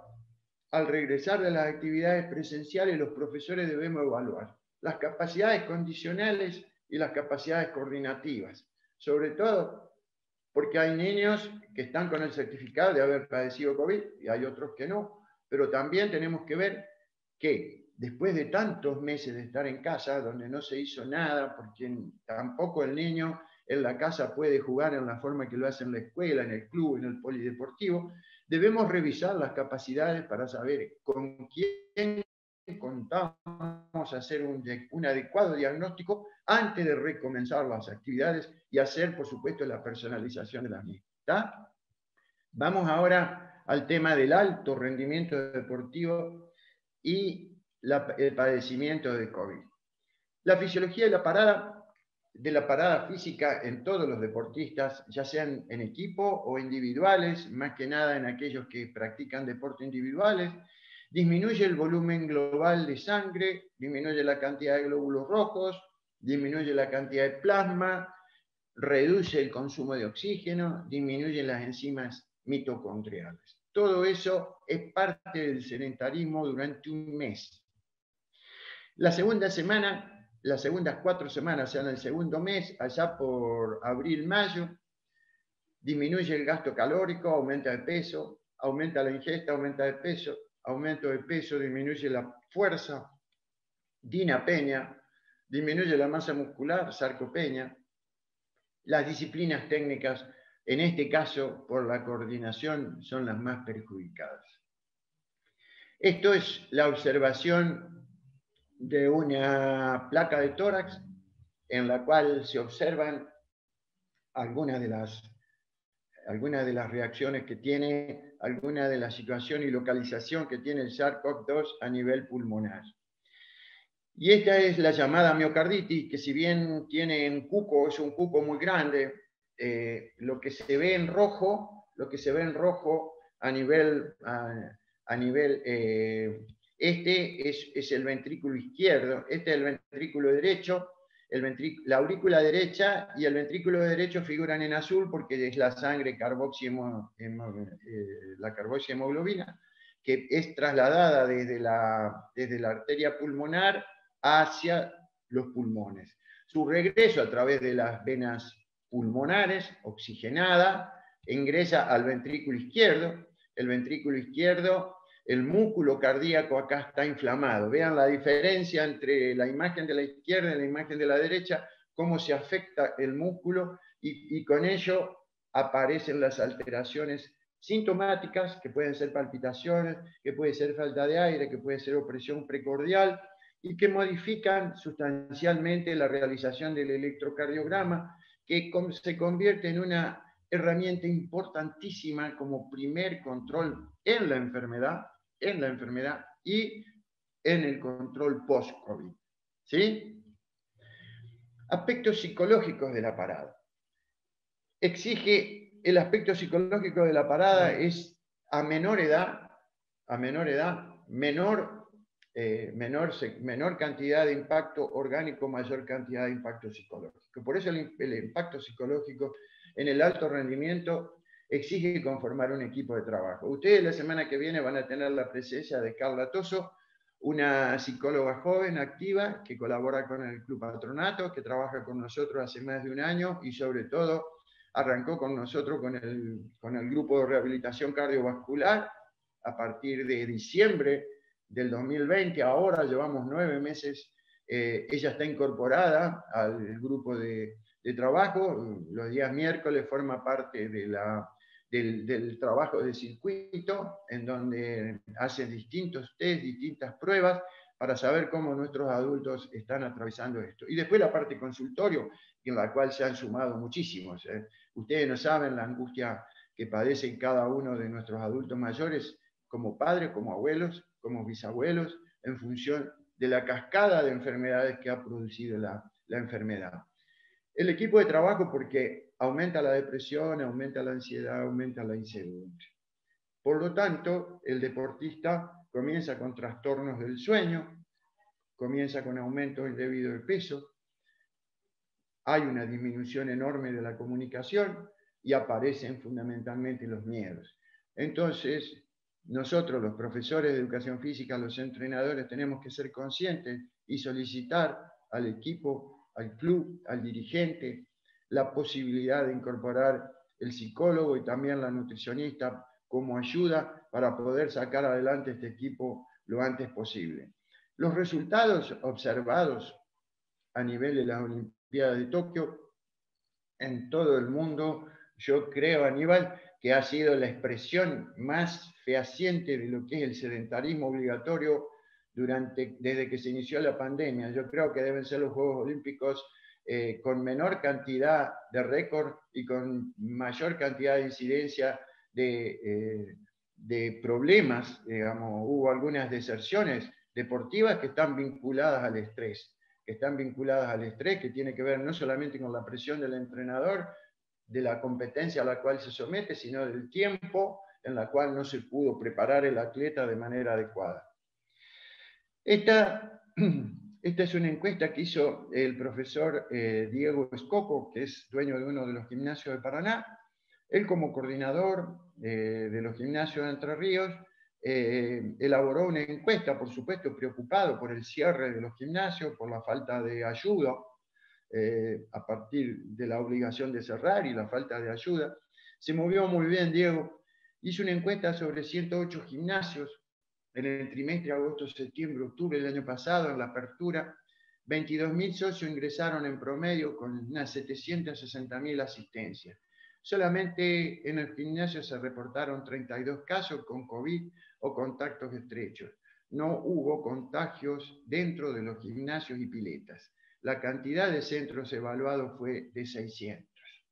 Nosotros, ya van a ver una foto más adelante, nosotros en noviembre iniciamos las actividades de rehabilitación cardiovascular con ah, adultos mayores, por supuesto, adultos. La mayoría de nuestros pacientes tienen más de 50 años. Aplicamos el protocolo, de, el protocolo eh, que nos giró la, la Federación Argentina de Cardiología a través de infectólogos, el Comité de Cardiología del Ejercicio. Hacemos higiene de, de las zapatillas al ingreso, hacemos higiene de las manos, usamos barbijo y trabajamos durante una hora con un 50% de, de cupo. Digamos, nuestros, nuestros cupos, que eran de 12 por hora, la bajamos a 6. O sea, trabajamos aproximadamente de 4 a 5 metros cuadrados por cada uno de ellos, separados por biombos que permiten de alguna manera. Y hemos tenido hasta ahora, después de nueve meses, la oportunidad de decir que no hemos tenido una cadena de contagios dentro de nuestro gimnasio aparte de alertar muy bien a los adultos mayores y ya por sí alertados por la gran cantidad de televisión y por la gran cantidad de contenidos que han brindado todos nuestros agentes sanitarios, médicos, enfermeros, infectólogos, epidemiólogos, desde que se inició esto, saber cuando había un familiar y habían tenido un contacto estrecho, quedarse en la casa, cosa que hay que decir lo mismo en el club. O en, en, en cada una de las instituciones educativas. Estudios médicos eh, recomendados después del COVID. Eh, concurrir al médico de cabecera, aunque haya sido fase 1, porque a veces la fase 1 se transcurre por teléfono y a veces hay cosas que por el teléfono no se informan. Entonces, tenemos que tener mucho cuidado porque de alguna manera el virus existe, está pasando, y aunque los síntomas sean mínimos, y aunque la cantidad de paracetamol haya inhibido los síntomas como el dolor, como la fatiga, como el cansancio, como la astenia, todo eso es muy importante reconocer la necesidad de concurrir al médico de cabecera y la figura del médico de cabecera establecer un orden de estudios necesarios. Si ha habido eh, el electrocardiograma, es, es muy, muy, muy importante para descartar cualquier patología a nivel del músculo cardíaco. La radiografía de tórax para certificar o confirmar la salud de la parte respiratoria, sobre todo si ha desaturado mucho o si ha tenido fase 2, ni que hablar de la fase 3.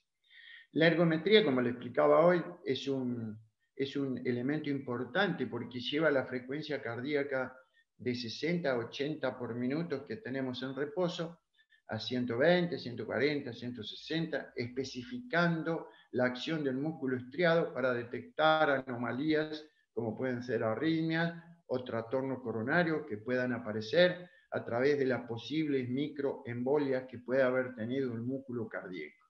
La espirometría el ecocardiograma Doppler cardíaco que evalúa el estado y la contractilidad de los segmentos que tiene el corazón y el laboratorio bioquímico, la rutina, más algunas precisiones como puede ser la troponina, como puede ser el PCR, pero que van a estar siempre a consideración del médico de cabecera, aunque a veces el paciente saltea al médico de cabecera y viene directamente a nosotros, al cardiólogo.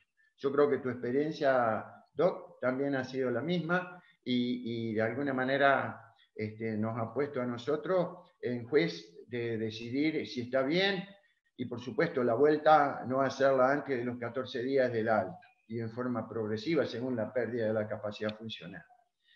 Esta es una, muchas veces nosotros, muchas veces nosotros los médicos que trabajamos en la cardiología del ejercicio somos somos muy, eh, indicamos mucha actividad física. Pero esta foto, esta foto, ¿lo reconoces? ¿Lo reconoces, Doc? A ese, a ese cardiólogo de Rosario, un gran docente académico que estuvo con nosotros en Villaguay hace muchos años, él es Daniel Pisco. Y la, la, foto de Daniel es muy importante porque viene no de un médico de la cardiología del ejercicio, no de un médico deportólogo, viene, mm. viene de un excelente cardiólogo especialista estudioso investigador reconocido a nivel mundial, donde él dice que la actividad física es un componente esencial para el control de la salud. Y en donde debemos defender esos conceptos y donde debemos pelear a diario porque somos el primer agente sanitario, somos el primer, estamos en primer lugar y somos los agentes que ayudamos a prevenir de una manera extraordinaria los problemas de salud, sobre todo en la prevención, y tener en cuenta que debemos usar el reglamento que nos impone el distanciamiento social para evitar que el deporte se convierta en, un, en una causa de COVID. Y somos el primer agente sanitario para prevenir las enfermedades no transmisibles. A través de la actividad física reduce el número de diabéticos, reduce el riesgo de los dislipémicos, de los hipertensos, de los tabaquistas, de los sobrepesados. ¿Sí? Bueno, la vuelta a la actividad post-COVID eh, el examen clínico con el médico de cabecera, se recomienda completar eh, estudios a saber, electrografía, ergometría, ecodoppler. Se tendrá en cuenta la forma en que se cursó la afección. Asintomáticos, eh, sintomáticos leves, fase 1, moderados, fase 2, severos, fase 3. Acá estamos realizando una ergometría con mi hijo, colaborador en la parte de ergo, Programa de rehabilitación cardiovascular en tiempo de COVID, acto autorizado por la Federación Argentina de Cardiología, que nosotros iniciamos en el mes de diciembre en todo el país. No te olvides de tu barbijo, tapaboca, trae tu propia toalla, concurrir puntualmente, no venga 20 minutos antes, porque si hay, una, si hay un riesgo, es la juntada previa. Por eso que realmente la, la llegada al club tiene que ser en horario. No asistas si tienes algún síntoma al club, a la escuela, al centro de alto rendimiento si tienes fiebre, si tienes tos seca, si te duele la garganta, si tenés mucho dolor muscular o tenés dificultad respiratoria. Estos son los elementos que seguimos preconizando y sigo diciendo, la pandemia no pasó muchachos, estamos en pandemia, el norte está preocupado por los rebrotes, los rebrotes en Nueva Zelanda, los rebrotes en Australia, los rebrotes en Israel, son elementos a tener en cuenta. Todo lo que le pasa al norte nos pasa después a nosotros a partir del cuarto, quinto, sexto mes. No nos abramos de piernas, estemos alerta, la guardia bien alta, por favor. Esto es la disposición que tenemos nosotros de los elementos para trabajar con adultos mayores. Eh, perfectamente caminan hasta 6, 7 kilómetros por hora. Tenemos nuestro profesor Sergio Alfonsini, que no lo tengo en la foto, pero ayer con barbijo hizo una prueba de 12 minutos a 6 kilómetros y medio y la toleró perfectamente con saturación 98%. Sí, eh, yo estoy convencido de que el barbijo es posible, que previene y que es más una sensación que una dificultad. Por supuesto que hay algunos de los nuestros que no quieren concurrir hasta que no tengan, hasta que no puedan hacer actividad física sin barbijo. Pero tenemos un cupo altísimo de concurrentes que han aceptado las condiciones y que de alguna manera nos ponen orgullosos. Yo le quería decir esto, esto, esta clase extendida, extendida a una hora cuarenta, yo la di hace un par de meses eh, para el Instituto Superior del Club Atlético Estudiantes, una institución que tiene el profesorado de Educación Física, y está en el, en el canal YouTube que tiene el Instituto Superior del CAE, por si hay muchas más cosas que yo puse allí a consideración de ustedes. Y fue una charla muy, muy larga, que no es, la, no es precisamente esta, pero esta está ajustada un poco a, a, la, a la comodidad y también al haber tenido que compartir muy bien el momento eh, con María Julia Ortensi. Sé que ustedes van a tener la, la, oportunidad el jueves que viene de estar con Carla Toso en ese hermoso auditorio. Bueno, en relación a las preguntas que ya me voy a fijar en el, ya me voy a fijar en el chat cómo están. ¿Qué estudios se debe realizar para volver a la actividad física después de COVID-19? Primero, tener en cuenta que es muy importante a toda edad y después de haber dejado el pediatra, porque es, la, en el único momento, y salvo el jubilado que tiene médico de cabecera que le hace la receta a través de la secretaria, tener el médico de cabecera. El médico de cabecera va a instruir perfectamente todo, todo lo que tenés que hacerte si has padecido COVID. Y sobre todo a todo deportista que después de un año y medio quiere volver a la actividad. Aquellas ergometrías que se hicieron los futbolistas en febrero del año 2020 hoy no tienen validez. Esa es la verdad. O sea, por más que se sientan bien, el control anual de un deportista a mayor edad, 40, 50, 60, 70 años, debe ser en manos de especialistas. Segunda pregunta, ¿es posible una actividad física con barbijo?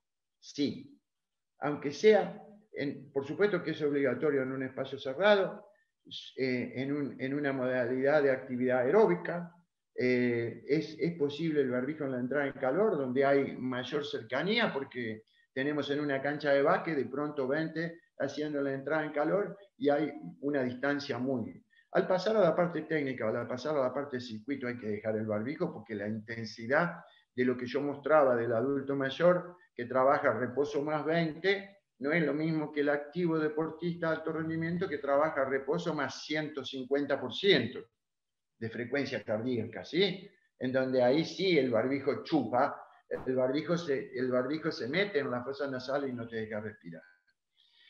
¿Es posible la actividad física durante el padecimiento de COVID-19? Sí, es posible. Tiene que una bicicleta fija, una caminata dentro de la casa, eh, particularmente ahora con la vacuna, la afectación de de la capacidad vital es muy mínima. Entonces la actividad física no la tenemos que hacer. Si usted no tiene síntomas, no es necesario que esté en cama. Puede estar levantado, sentado, parado, caminando, haciendo tareas manuales, haciendo laborterapia para sacar el miedo de la cabeza. ¿Qué refieren los deportistas al volver después del COVID? La mayoría de los deportistas refieren un gran decaimiento general, una falta de iniciativa, una falta de voluntad y por supuesto al iniciar lo que habitualmente hacían, una gran pérdida de la fuerza. He tenido oportunidad de evaluar jóvenes de 45 50 años que eh, practican maxi básquetbol y que no han podido repetir el 100% de los METs que habían alcanzado antes de la pandemia a dos meses de haber padecido COVID. O sea que acumulaban el sedentarismo más haber padecido COVID, una ergometría de 1.500 kilogramos a 11 METs, no poder alcanzar los 900 kilogramos, o sea, no poder superar los 9 METs. ¿Es necesario rehabilitar muchos casos de COVID? Por supuesto sobre todo en aquellos casos que han pasado a fase 2, fase 3, en las cuales eh, el virus ha provocado desaturación muy intensa, ha provocado muchísimas, muchísima sintomatología a nivel pulmonar y en las cuales por ahí ha, ha sido necesario también la prescripción de anticoagulantes. Eso es lo que necesita una rehabilitación y una autorización exclusiva del especialista volver a la actividad física. A mayor gravedad, mayor precaución de volver al deporte que hacía. Bueno, eh, en general, eh, yo quiero pedir disculpas, pero bueno, hablé a Gigarret y le dije, muchachos, habilítenme el internet porque si no me voy a Cablevisión. Y bueno, y me dieron enseguida el internet. Bueno, tuve que hacer una maniobra. Eh, gracias a la Municipalidad de Crespo. La pandemia es larga, Aníbal, ya nos vamos a poder convocar allí en forma presencial a medida que, bajen los riesgos. Vamos a poder estar en ese hermoso auditorio que ustedes están estrenando y que tienen a su espalda y que me parece magnífico. Eh, bueno, quedo, quedo a, disposición de ustedes para, para eh, las preguntas que, quieran hacer a través del chat o eh, de alguna manera compartirlo, hacerlo. Y, ya le digo que creo que esta clase queda grabada, como a María Julia también. Eh, sería, sería bueno que, se pueda acercar. Yo creo que en estas etapas y siempre el contenido educativo, Aníbal Ceruti, el contenido, el contenido educativo es un bien social y tiene que estar a, a disposición de todos aquellos que integran la comunidad de Crespo, a la cual saludo y a la cual para mí siempre han sido un ejemplo y desde hace muchos años pondero la actividad física que realizan en esa localidad, teniendo en cuenta el valor ético, étnico y, la gran ascendencia que tienen de, ser una raza con la cual comparto toda la disciplina y toda la obediencia y toda la eh, educación que pueden desarrollar. De manera que estoy orgulloso de poder servirte, Aníbal Lanz. Y también a vos, colega querido, con la cual hemos compartido muchos momentos. Ahí hay alguna, algunas preguntas, Néstor, si querés te la leo. Dice, ¿cómo es posible en caso de los deportes de contacto como el básquet? Es, eh, es, inevitable el contacto y luego que se seque la transpiración o que se toquen las manos, cara, etc. Es muy complicado. Se refiere al juego, ¿no es cierto?, el básquet. ¿Cómo se hace en esos casos? Ya. Eh, a ver. Eh, ¿Cómo es posible en caso de los deportes en contacto como el básquet, inevitable el contacto y luego se sea la transpiración o que se toque la cara a las manos? Es muy complicado. Bueno, en realidad eh, con el básquet lo siguiente, cuando yo hablaba de 20 en una cancha entrando en calor, ¿sí? Eh, estaba diciendo que ahí el distanciamiento hablamos del distanciamiento 15 minutos, o sea, el contacto estrecho estamos hablando de un mano a mano. Sería peligroso que seis o cuatro jugadores se trasladen a jugar al básquet a Victoria porque van a ir en un auto o van a ir 20 en un micro, en donde van a ir más de 15 minutos compartiendo una burbuja cerrada. El hecho de entrenar, el hecho de realizar una entrada en calor con distanciamiento, el hecho de hacer el trabajo técnico y el hecho de jugar 5 contra 5 no implica no implica contacto estrecho, porque es un espacio muy grande y los espacios cerrados donde se juega el básquet es una gran cantidad de dimensión de aire, en donde también hay ventiladores, donde hay en donde hay extractores eólicos que tienen que ver. Y con respecto a la toalla, tiene que ser personal y, la, y, el elemento de hidratación tiene que ser personal, digamos, no tiene que ser compartido. Para mí hay que poner las reglas, en, digamos, tenemos que tenerlas muy claro los profesores de educación física y los médicos asesores de los clubes de dónde está el riesgo. Por eso hice hincapié en, el concepto del contacto estrecho. Por eso es que la educación dice que si el, bar está cerrado, no puedo ir al bar que está en la esquina y juntarme en una mesa de cuatro, doce personas a compartir cuatro cervezas, porque van a hacer pico cerveza. O sea, hay, hay cosas que tenemos que cumplir y nosotros, nosotros los profesores de educación física somos los que más sabemos cómo elaborar un reglamento. Somos, la mayoría de nosotros somos jueces hemos cobrado un partido de handball, hemos cobrado un partido de fútbol, sacamos la amarilla, sacamos la roja. no, es, no es difícil establecer la posibilidad de trabajar sin necesidad de establecer contagio. Simplemente tenemos que disfrutar lo que podemos, no queremos tener siempre más allá. Esto es una forma a la cual va a volver a cerrarse, porque la pandemia no terminó.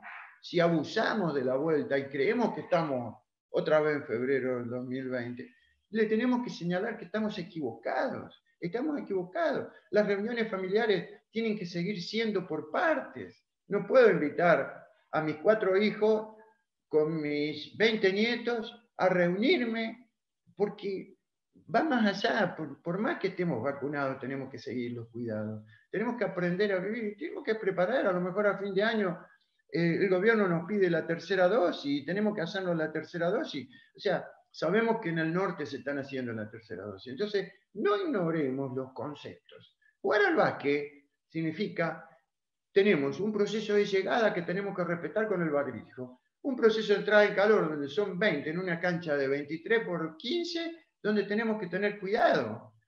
Si bien la entrada en calor no dura más de 15 minutos. Y cuando empezamos el trabajo técnico, muy desparramado, como decíamos en la escuela, ocupando todo el espacio, ocupando todo el espacio, dejando de hacer ese grupo, ese, ese pogo, que de alguna manera es el elemento de contagio. Y cuando juega el 5 contra 5 no hay contacto estrecho, porque si bien hay un toque, o hay la finalidad de un tiro de tres, un tiro, un tiro libre, implica que todo está a más de dos metros. Mi toalla, mi botella, mi auto, mi casa.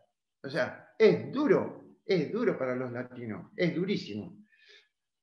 Por eso, por ahí, este, eh, eh, en relación a, qué opina del uso de barbijo en niños durante la actividad física. Mira, el uso del barbijo en niños durante la actividad física me parece, me parece eh, una oportunidad de que el niño entienda y lleve a su casa el mensaje de que el barbijo es necesario, así como el niño entiende que su papá no debe fumar. O sea, quien lleva el mensaje para que el padre no fume es el niño. Quien lleva a la casa el mensaje de que el barbijo hay que usarlo en determinadas situaciones. Yo considero que hay actividades en el patio cuando son muchos los niños que no va a haber ninguna dificultad que la hagan con barbijo. Sé que hay mucha oposición y sé que muchas de los oposición parte por la posición que tenemos muchos de nosotros, los profesores de educación física, creyendo que va a haber limitación. Pero la experiencia demuestra que el barbijo no, no, no desatura, no desatura. Y sobre todo si es una actividad de pocos niños y al aire libre, en un, en un patio muy grande, sin barbijo, sin barbijo. No apliquemos que el contacto, apliquemos, recordemos contacto estrecho. Más de 15 minutos a menos de 2 metros. ¿eh? Más de 15 minutos a menos de 2 metros. Ese es el concepto del contrato estrecho. Ustedes aplíquenlo a cada una de las disciplinas que están ejerciendo, que están difundiendo. En base a eso, adelante, porque no podemos dejar de hacer actividad física porque esto tiene una nueva modalidad por mucho tiempo, una nueva modalidad por mucho tiempo. Y sobre todo compartir. Entre Riano, el mate. Muy bien los otros días cuando volvieron con el fútbol prohibido ingresar los espectadores a la cancha con el equipo de mate. Ahora, ¿qué pasa? Otro, otro detalle que tiene que ver con la educación y no es una pregunta. ¿Qué pasa con el deporte infanto juvenil? Que solamente entran los jugadores a la cancha. ¿Qué pasa en la cancha? En la cancha de la mayoría de los clubes de hockey sobre césped en Paraná.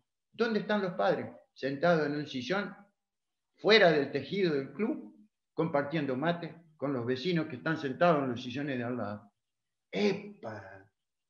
Si no podemos entrar porque estamos cuidando el distanciamiento, no nos podemos sentar a tomar mate con los, con los padres de una compañera que está jugando con mi nieta al, al hockey. O sea, nos falta todavía, nos falta mucho para terminar esto. Y ahí están, siguen estando los motivos y las, y las, y las oportunidades de contagio. Si no podemos entrar, tampoco tenemos que estar viva la pepa fuera del tejido.